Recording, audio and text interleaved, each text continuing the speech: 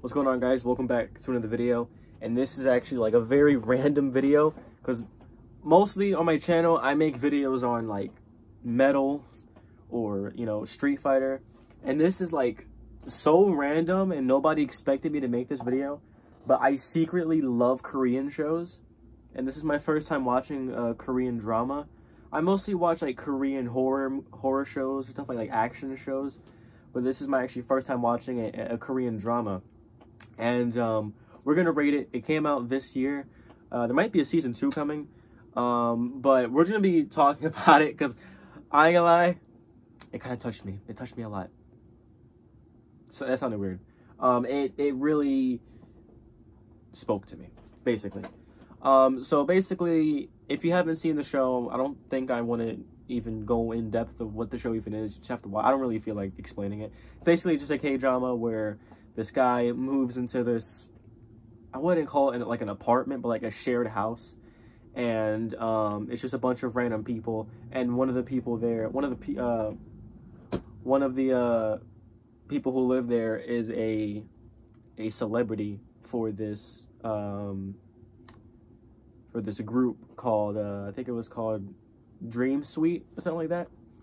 And basically, her she fell off. She left the she left the group, and then she was staying there low key. And then when he when the guy moved there, the guy in the black, they moved. He he moved there, and then they just fell in love. I guess. All right, that's like so to in a nutshell, basically. But this show is like I usually don't watch dramas because, well, I don't know. I, I, I usually just don't watch dramas, but uh, this one was like, it, it, it was kind of sad, especially the ending. The ending kind of had me. Um, another reason why I like this show is because I could relate to it a lot. Um, like I could relate to what he was going through.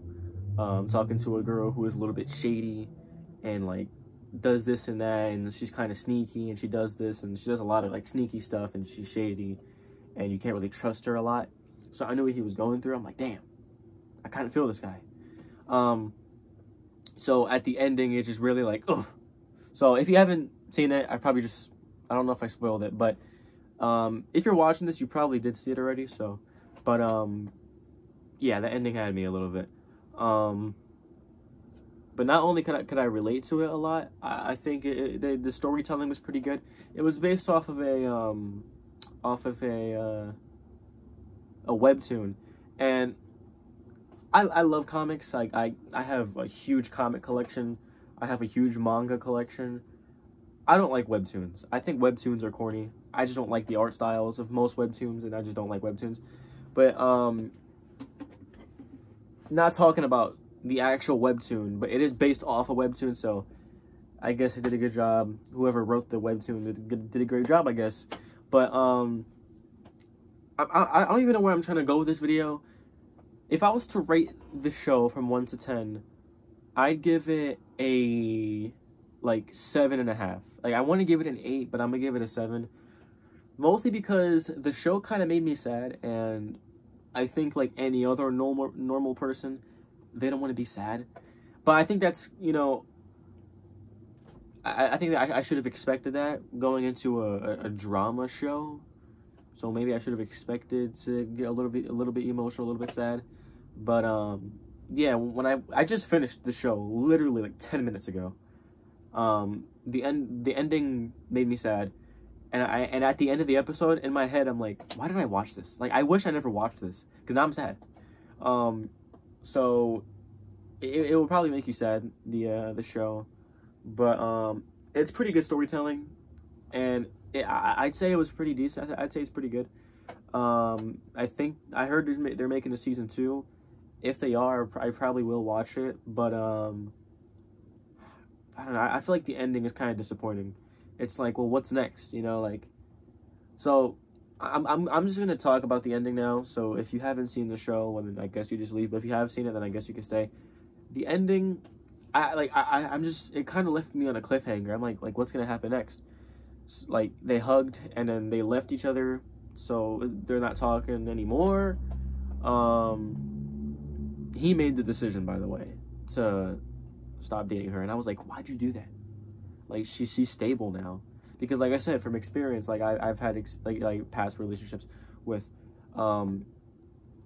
With people who are not stable, just mentally just not there, and really shady and sneaky. So, I'm like, well now she's not now she's now she's not shady and sneaky anymore. Now she's now she's stable. So why are you like, why are you giving up on her? So I was a little bit confused about that decision. Still confused. I still don't know why he made that decision. Um, maybe I'll have to watch a video of somebody explaining the ending because they probably know more than me. Um, but I was like, that, that's why. Why why did you leave her when she's all stable now? And he's like, oh well, if you went back to your, you know, your um if you became a celebrity again, I'd still be with you. And he, he kind of lied. Um, and then at the end of the show, she just like knocked on his door, went into his room, and, and uh, well, he opened the door for her, and then they went inside the house, and she was like, "Tell me that you're you're sorry," and then he's literally crying, saying, "I'm sorry." She's crying too, and then she was like, "Tell me that you regret it," and he said he regrets it, and I'm like, "Well then, why'd you do it? Like, it was just so confusing to me. But, um, at the end, he was just like, yeah, I regret it, but just leave me alone. Like, just, I don't know why he doesn't want to be with her. Like, I don't understand. Maybe he doesn't want to be with a celebrity because the celebrity is a big, like, I don't even know. Okay, I might, someone has to explain this to me. I'm gonna have to watch a video or something. Um, but yeah, the ending kind of confused me a little bit. Kind of left me on a cliffhanger. But um, besides the two main characters, the side characters are also pretty cool as too. Uh, uh, they're pretty cool as well. Um, the the one girl, I think her name was Jinju or something like that. Um, there was one point in the show where I was rooting for her to get with um, the the main character, the main guy. Can't remember his name, some weird Korean name. Um, there was one point where I was rooting for her because I didn't want to I didn't want to root for that girl, girl in the middle, uh, Doona, Doona, Doona, because I don't like her. I didn't like her at the time. I'm like, bro, she's freaking weird. But um, I I, th I think the main character, I think I think the main guy just kept making bad decisions over and over again. Like you, you stopped talking to to Jinju, which was like the right option Stop like that. She was the correct choice. Stop talking to her so you could get with her, and and then at the end of the day, it didn't work out. Like, what are you doing? Um, but I don't even know. like, I'm just so confused. Um, overall, I think it was good. I, I, I love Korean shows. Um, so, and lately, content has been really dry. Like, I can't find anything to watch. Right now my Hulu isn't working, so I don't I can't watch Hulu, and I was in the middle of watching an anime as well. So I have nothing to watch on YouTube. I have no shows to watch. So once I discovered, oh, a new Korean show, hell yeah, let's go. It's a drama, but we'll still watch it. I'm like, all right, let's go. Watched it. It was pretty cool. Um, so yeah, I give it like a seven and a half, maybe like an eight out of ten.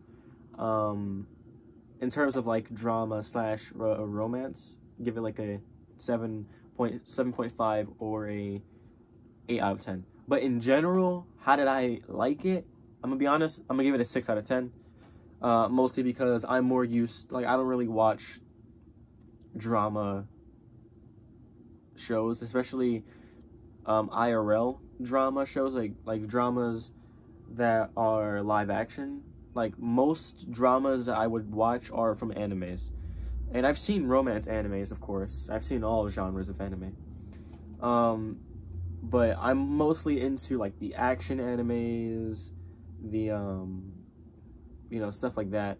You know stuff stuff that has a lot of fighting. Like you know my, my favorite anime is Attack on Titan. So that's to say something about the anime and the shows that I like. Um, but yeah, I, I think in, in terms of a, a slash like I, I think in terms oh my god I can't speak in terms of drama slash romance, I think I'd give it like a seven and a seven and a half or an eight out of ten. But just overall, how do I feel about it? Like a six out of ten. Um, if the season two comes out, probably will watch it. But um, if that's it for the show, then wow, what an ending. So uh, I think that's it for the video. Um, pretty random. No one expected this, but uh, there you go. Maybe I should do more reviews and it, I, all of the information is on the top of my head because I just finished the show 10 minutes ago. And this it has nine episodes by the way. Nine episodes. All the episodes are like around 40 minutes long. And i started watching it yesterday. No i started watching it sunday. And i just finished it today which is tuesday. So it took me three days to finish it. But i could have watched it in one day and i was planning on doing that um, but i had school so that's it for the video um, if you've seen it let me know what you guys think about it but yeah, pretty random. I don't like this is so random.